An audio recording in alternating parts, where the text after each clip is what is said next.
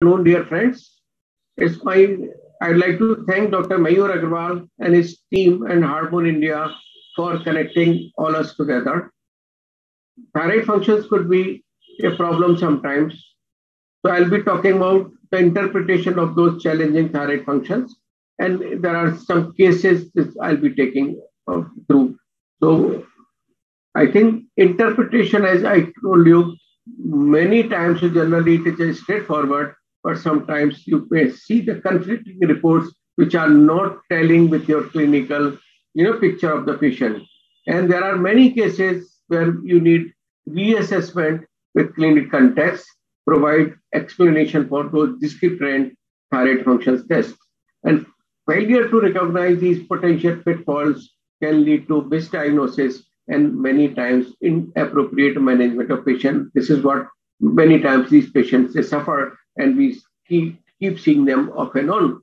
I think we are aware this about this slide. We have seen it several times. We have hypothalamus, which produces TRH or thyrotropin releasing hormone, which works on anterior pituitary, which is to produces TSH or thyroid distributing hormone working on thyroid gland. And, and then, then thyroid naturally with collaboration of or coupling of iodine, DIT, and MIT, and with the help of Uh, those anti, you know, uh, uh, thyroid peroxidase enzymes, it produces and releases thyroid hormones in the blood from the follicular cells of the thyroid. And these uh, T3 and T4, they come out. Mainly it is you know, T4 and it gets converted in the liver and kidney and periphery into T3, which is more active as compared to T4. So this is what we keep seeing. This is the normal regulation of thyroid hormone synthesis, and this is what them. So we have positive effect from hypothalamus to pituitary, which has positive effect from on thyroid and thyroid hormones. They have negative effect. So we have T3, T4. If they are high, you have to suppress TSH, and if they are low, you have the elevated TSH. As simple as that. We are aware of that. Again, this is same.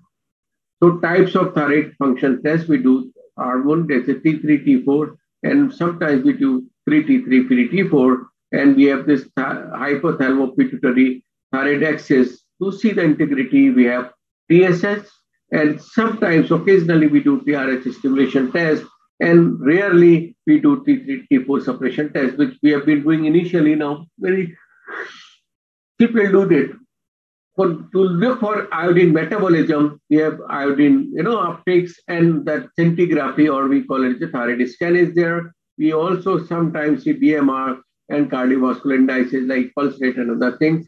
And we have sometimes etiologically, if you wish to see, we do the immune markers, especially anti-TPO, anti-thyroglobulin antibodies. So that's what we do normally, regularly. So, and imaging wise, we have the MRI, CT as well as sonography is available. And many times we do the FNAB. So this is what the thyroid function tests are. So we have very, very important uh, linear relationship, a long linear relationship between TSH as well as between the T4 or pre-T4 hormones. First up, you have the TSH is, we call it a barometer of thyroid functions, or we use it as a screen test. This is the normal range of TSH, and we have wherever there's two to three fold up or down in free T4, you have a hundred fold up and down in TSH. So you see the minor difference in T3, T4 levels, but you see the major differences in, in TSH level. This is what the 100 times, 100 fold as compared to 3T4 or T4. And now we have the conditions where the measurement, so as I told you, the TSH, we use it as a screening test, but many times it may not be the real screen test, especially if the patient has secondary or tertiary hypothyroidism, where the defect is in hypothalamus or pituitary. There could be non-thyroid illnesses. There could be patient is on treatment of thyrotoxicosis that TSH remains suppressed for a long period of time, but T3, T4 are normal. And there could be sometimes resistance to thyroid hormones and many, so rarely I have seen, and sometimes we see TSH secreting pituitary adenoma or thyrotropinoma or TSHoma. So these are the things. You have TSH producing pituitary tumor, you have thyroid hormone resistance, your patient is on treatment for thyrotoxicosis, patient is on non-thyroid illness, or patient has secondary tertiary hypothyroidism. That is the time where could TSH alone level could be misleading. So you need to certainly see the T3, T4 and see the patient as a whole. That is very, very important to note. And this is the algorithm for thyroid hormone function or dysfunction where we do TSH normal, we call patient normal. If TSH is, is high, we do the pre-T4. If it is low, we give hypothyroidism. When pre-T4 is normal, TSH mild elevated, we call it subclinical hypothyroidism. When TSH is low, we do pre-T4. If it is normal, we call it subclinical hyperthyroidism. So have both subclinical hypo and hyperthyroidism. If T4 is high, then we call it hyperthyroidism. TSH suppressed, T4 high, hyperthyroidism, TSH high, and, and low uh, T3, T4, you call it a hypothyroidism. As simple as that. It's a pattern of thyroid. Uh, this thing you have pre T3, T4 or T3, T4, normal TSH, you have that uh, elevated T3, T4, suppressed TSH, and you have elevated TSH, which normal T3, T4. Here will be hypothyroidism, it will be hyperthyroidism, and, and, and then we have uh, this thing, hyper and hypo.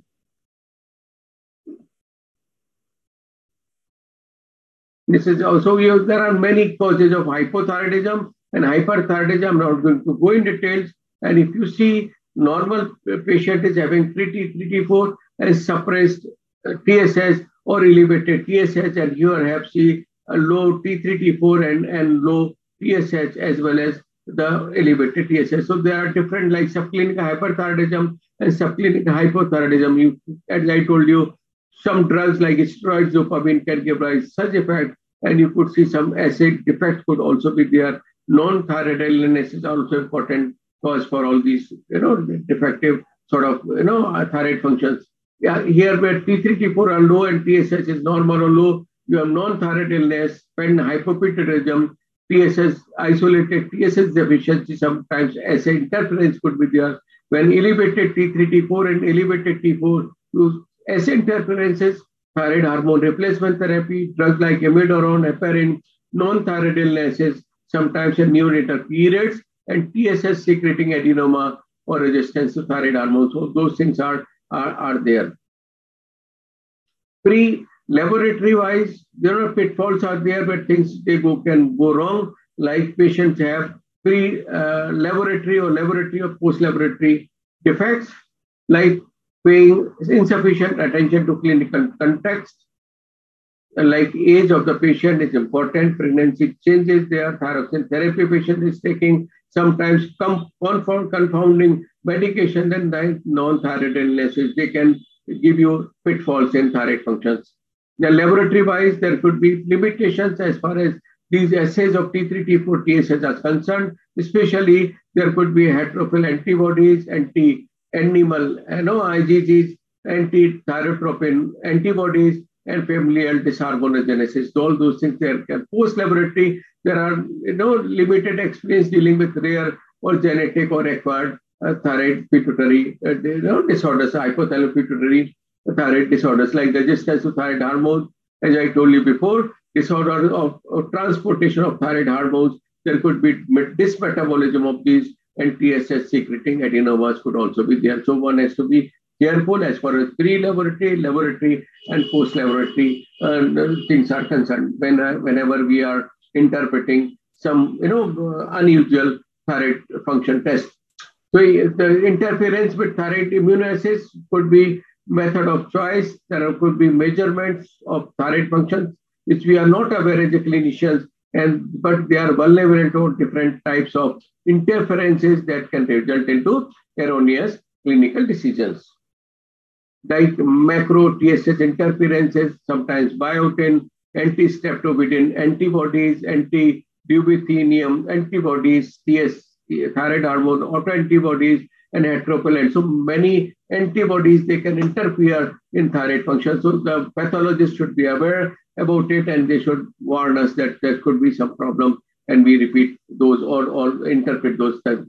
Many drugs like lithium, they decrease thyroid hormone release. amiodarone can give rise both, uh, which is used for arrhythmias, hyper as well hypo, SSRI antidepressant, which we use frequently, they increase TSH levels. Estrogen can increase the TBG or thyroid binding globulin and decrease the free T4 levels. Androgen steroids, they can decrease TBG, thyroid binding globulin, and they increase the free hormone level. So drugs have to be important. Estrogen, androgens, antidepressant, amiodarone, lithium. Usually we use many times these drugs are there and patient has some misinterpretation of thyroid hormone, uh, thyroid uh, hormone um, results or thyroid function results. We have a case who is for 24 years lady who is having irregular cycles. She's feeling tired, fatigue, weight gain is there, and she comes to us and her T4 is on lower side, TSH is, is high. I think this is a simple case. She has a clinical symptom. She has a suspicion of having thyroid dysfunction. T3, T4 are low, TSH is elevated. You call it a primary hypothyroidism, no doubt about it. So simple case. Another case with a 40 years of lady, the mother of two, having weight loss, palpitation, neck fullness is there, she has stare, or eyes are quite big, T3, T4 are high, and TSH suppressed. Again, you may say the suspicion is more, hormones are more, TSH is suppressed, so we call this hyperthyroidism or thyrotoxicosis. It could be Graves' disease, or sometimes you may see release of these hormones because of thyroiditis, and that could be there. Or sometimes we call that over replace, you know, uh, thyroid hormone. Uh, this hypothyroidism is there. We, we have given more than the usual case thyroid hormone ditching. So that is very, very important. Another case is 18 years of girl who is having putting on weight and systemic review was normal. General checkup was shown that 3T4 is, is normal. One, one, this one TSH mildly elevated. You may call it is not more than 10. It is between 5 to 10. You may call it subclinical hypothyroidism. She has symptoms not there. She has some suspicion because of weight. The thyroid hormone reports are normal, but TSH is bit elevated or mildly elevated. We call it subclinical hypothyroidism. This is what we should interpret these results. This is relationship, I told you, linear relationship diagnosis TSH due to free T4. This is free hypothyroid, free normal range, and you see, as soon as patient becomes hyperthyroidism, the TSH gets suppressed. And in hyper hypothyroid range, even two-fold increase or decrease in free T4 level, you have 100-fold rise or reduction in, in, in TSH level. So this is how the TSH become very, very sensitive, very, very important parameters to look, look for thyroid dysfunctions. And this is another case where you say mild subclinical hypothyroidism, moderate and clinical, this problems interpretation, evaluation. This is T3, T4 and free T4. This is elevated, this is T4 is high or low. So this is, you know, we, we have the different kind of uh, results where you see the normal, you see the T3 is normal, T4 is low, and this is, so what will you call it? And sometimes you see all three low, T3 low, T4 low, and, and, and and and I'll be doing five minutes I'll do that. Sure. Uh, and differential diagnosis for subclinical hypothyroidism. This is there. It is autoimmune thyroid disease like Hashimoto's, partially or recently treated hypothyroidism, recovering from thyroiditis or recovering from non-thyroid illnesses. And you see sometimes adrenal or pituitary hypothyroidism, drugs like amiodarone and lithium and obesity can give rise subclinical hypothyroidism. So I don't have to go in detail, but certainly this is what we see in such type of patients. And this is a uh, paper published by Rakesh Nair and et al. And this is TSS level showed a statistical significant decline postprandially. This is so the difference in fasting and postprandial values, decline in postprandial in comparison to fasting. This may be a clinical implication in diagnosis and management of hypothyroidism, especially subclinical hypothyroidism. So when you are doing the test, that is also very important, whether you are doing in fasting state or you are doing after the meals. And conclusion, test timing of sample or food intake alters that. This is another Shriram, you know, they have published this data and they say timing or test of TSH value, this should be factored in making decision diagnosis.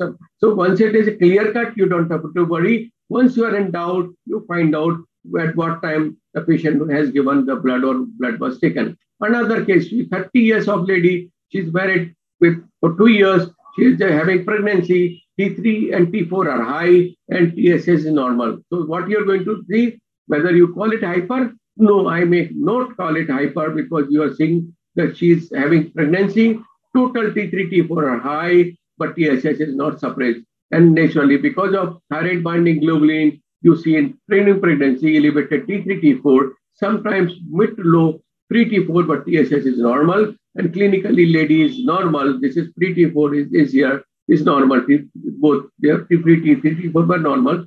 So we call it a pregnancy-related uh, physiology of pregnancy, where you see T3, T4 are getting released. Because of TBG, thyroid binding globulin, you have the reduction in pre-T4 and elevated total T3, T4, uh, elevated and reverse T3 is more if you do it. And because HCG comes out from the placenta, especially in early pregnancy, you see the suppressed TSH also. Sometimes you see suppressed TSH, elevated T3, T4. If patient clinically having no goiter, no eye signs, you may just leave it as, as and you may ask for the free uh, hormone levels of T3 and T4. And this is the normal physiology where you see the elevated HCG and suppressed TSH. This is suppressed TSH, elevated you know, HCG is elevated, free, total free flow and is elevated because of thyroid binding globulins.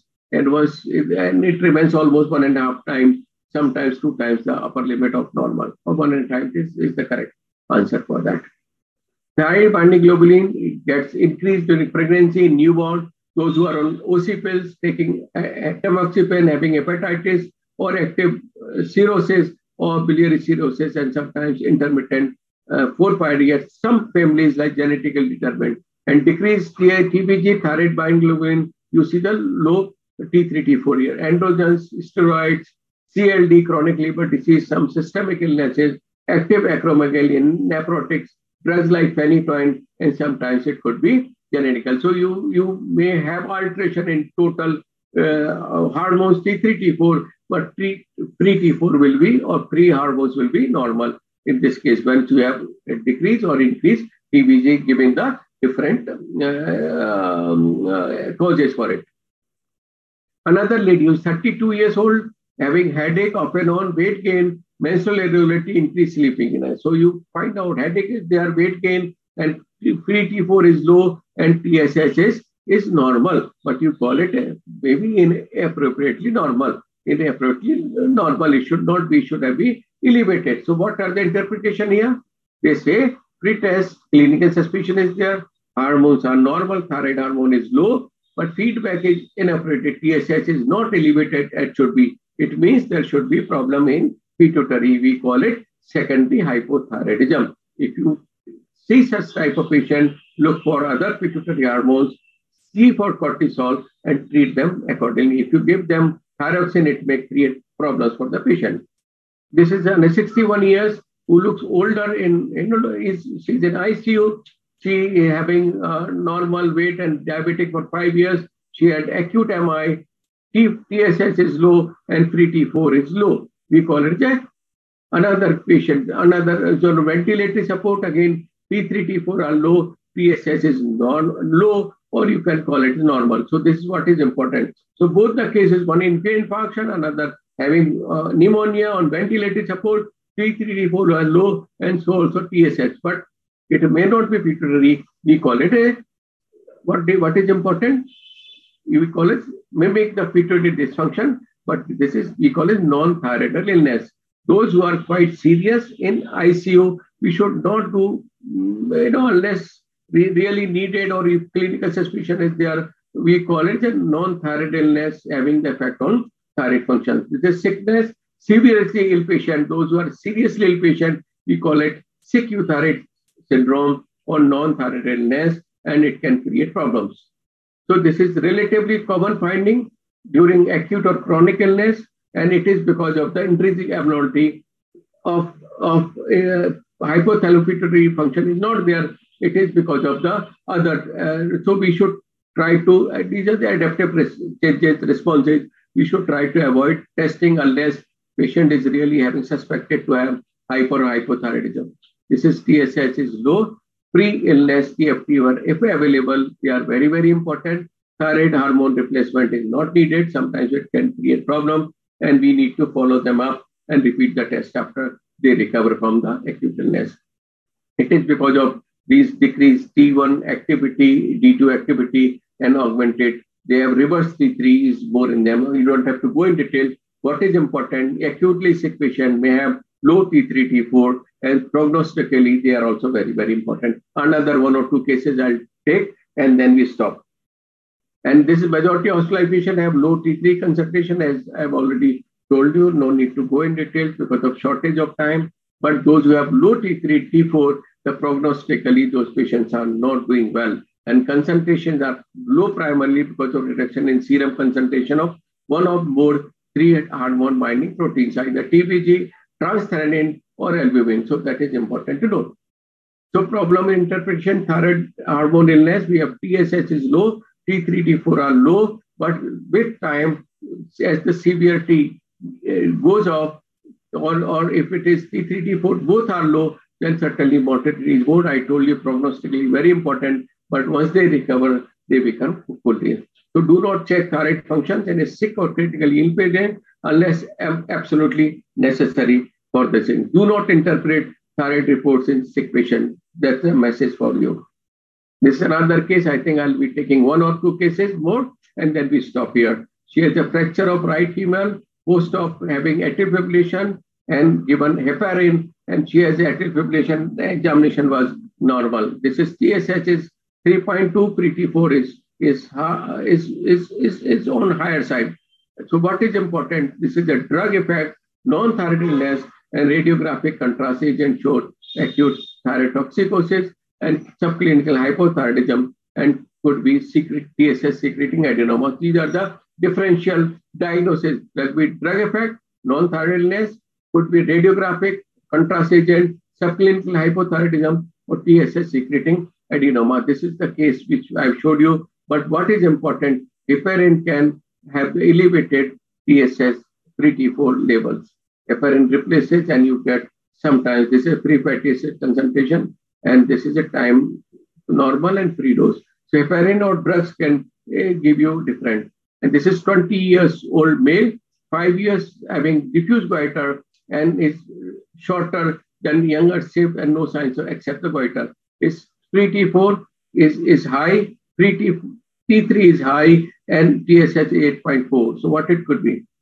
So as I told you, it could be here or it could be resistance because this patient is having short and, and we have suspicion of thyroid hypothyroidism, but TSH is elevated and, and TSH not that suppressed, rather T3, 4 are high and TSH is not suppressed. You call generalized thyroid hormone resistance. Almost family screening was done and his mother had, as well as sister had similar problems. So it runs in families, thyroid hormone resistance sometimes you see. This is another patient who is having TSH secreting pituitary adenoma, where TSH is, is, is high or normal, but T3, T4 are high, and antibodies were positive, and the patient has atrial fibrillation. So diagnosis-wise, naturally TSH should be suppressed in this patient, but TSH is working more in thyroid, and you have the thyrotoxic. You know, patient was there, and because she has atrial fibrillation and all signs of thyrotoxicosis, but, but it was because of TSH secreting pituitary adenoma. And second diagnosis was naturally thyroid hormone resistance. So you see this elevated T3, T4, and we have the alpha and beta subunits of TSH. If, you have differentiation, and TS, MRI could be done. So TSH resistance, as I told you, they have goiter, palpitation, resting. This is resistance to thyroid hormone in, in pituitary. Another case, because we done we are running of short, and patient could be clinically euthyroid or hypothyroid. Peripheral resistance is there, thyroid receptor mutations like you have uh, TR, uh, no, beta region. Generalized and so you can have pituitary resistance to thyroid hormone, or it could be generalized resistance to thyroid hormone. If it is generalized, patient will have hypothyroidism. If it is only at pituitary, they may have uh, no symptoms of like tachycardia, palpitation, and goiter. And the, the last case was newborn male baby, we have checked thyroid functions as part of routine uh, hospitalization on second day of the life. or after birth. And free T4 was normal, but TSH was high and parents were worried what to do. But what is important, we have tested with too early. This is how the TSH remains high immediately after birth and remains so for almost three to four days. So this is the TSH. And so what is important, if you really wish to check thyroid function then pre- uh, in a boy or a newborn, do it after three to four days of the life or after 72 hours. That is very important. Otherwise, initially you may have to, you know, 40 or 60, you may see sometimes TSH. Most of the time, it could be misinterpretation. So we should be doing screening in a proper way. So pre-T4 cutoff are different for infants. TSH high at birth and takes at least 40 to 72 hours for to settle. This may be what tested early and the suspicion of and naturally later on he was detected not to have this problem. So what is important? To summarize, I should say we should re-evaluate clinical history, age of the patient, pregnancy status, but they are taking thyroxine therapy, whether they are having other medication like evidorant, furosemide, heparin, or steroid, or patient has non-thyroid illness, been sick in, in, in ICU. We should not in, interpret those or interpret in the light of all these things, and we should reassess the status and find out whether patient was really hypothyroid, euthyroid, or having thyrotoxicosis. Decide which thyroid function is most likely to be discordant, and we should exclude thyroid hormone resistance as well as TSH secreting adenoma and TSH assay interferences. This is very, very important. And we should certainly give our input to the laboratory and we should be keeping in mind the acquired disorders of thyroid, uh, pituitary thyroid or hypothalamic pituitary uh, uh, thyroid functions and genetic disorders like thyroid hormone resistance and sometimes pituitary uh, TSH secreting pituitary adenoma. To summarize, summary, I would like to say interpretation of thyroid function is not a matter of interpreting values alone. It is a matter of how apply, how we apply to the patient as a, as a whole, holistically. So we have to always see the clinical history, examine patient, and interpret the thyroid function results properly. I think thank you very much for your attention. Thanks a lot. Over to you, Dr. Mayur. Thank you.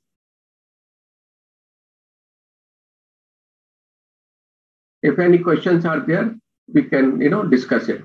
Thank you.